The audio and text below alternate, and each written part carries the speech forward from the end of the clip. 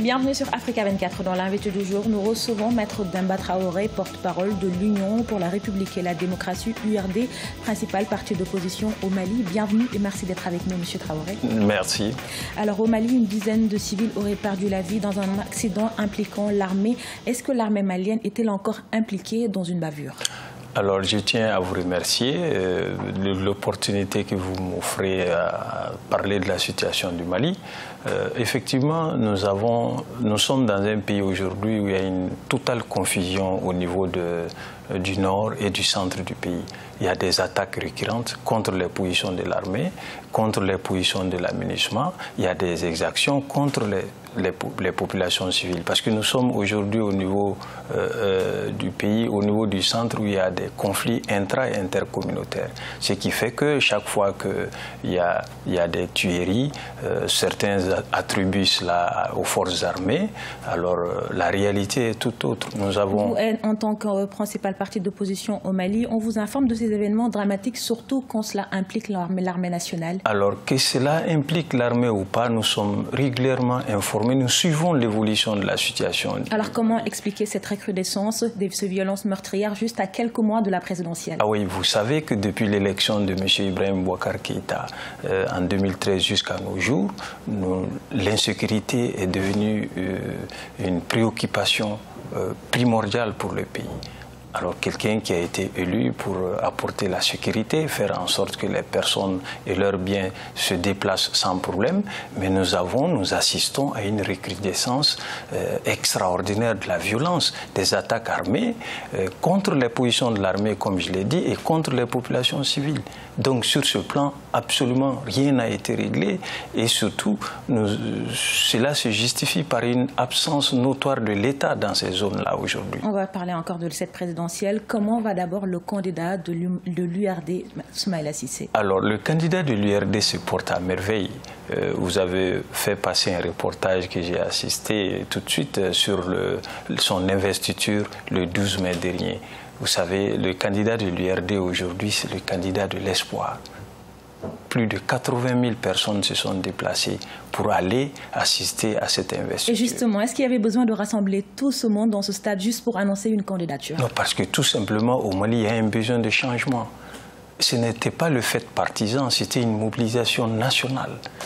Parce que le candidat Soumaïla Sissé n'est pas seulement le candidat de l'URD, c'est le candidat d'une trentaine de partis politiques et de plus de 200 associations.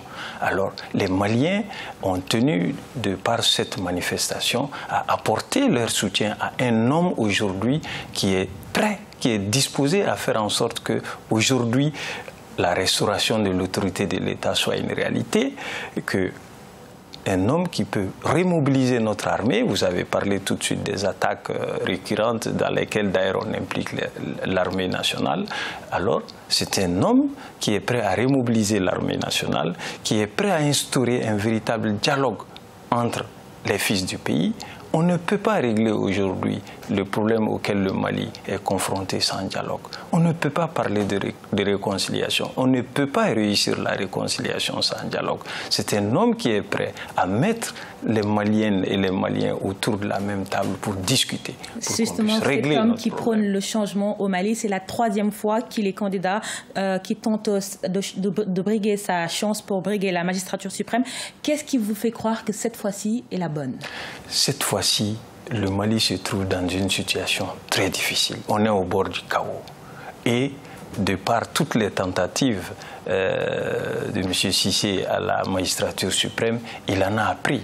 C'est un homme prêt aujourd'hui. C'est un homme qui a assez d'expérience aujourd'hui. C'est un homme qui connaît le Mali, qui a parcouru tout le Mali. C'est un homme qui connaît l'Afrique. C'est un homme qui connaît les réalités économiques. Vous savez, on ne peut pas résoudre l'insécurité sans faire redémarrer l'économie. On ne peut pas résoudre l'insécurité sans réussir aujourd'hui euh, euh, euh, la transformation de notre société qui a permis aux jeunes de s'intéresser pratiquement à la politique. Vous avez vu l'effervescence populaire aujourd'hui. Remplir un stade, c'est pas ce qui va faire gagner une, élection. Remplir un stade ne fait pas gagner un candidat, mais c'est un indicateur dans, les, dans un pays comme le Mali. Et si l'éternel deuxième ne passait pas le second tour cette fois-ci, est-ce qu'il respectera l'accord de la coalition de l'opposition pour l'alternance et le changement au Mali? Je crois que M. Sissé a eu l'occasion d'intervenir sur certains médias pour dire qu'il est prêt à se mettre derrière tout candidat que les Maliens auront choisi pour gérer ce pays. Jusqu'où l'URD est prêt à aller dans sa stratégie de tout sauf Ibrahim Boubacar Keïta? Il faut mobiliser. Aujourd'hui, il faut donner l'espoir aux gens. Nous avons créé une plateforme. Ensemble, resterons l'espoir qui est en train de travailler, qui tend la main à tous les dessus du pouvoir. Tous les dessus du pouvoir. Au niveau de l'URD, nous n'avons pas en tête l'idée d'une chasse aux sorcières après avoir obtenu le pouvoir. Le Mali n'a pas besoin de ça aujourd'hui. Le Mali a besoin de changer de gouvernance. Le Mali a besoin de lutter efficacement contre la corruption.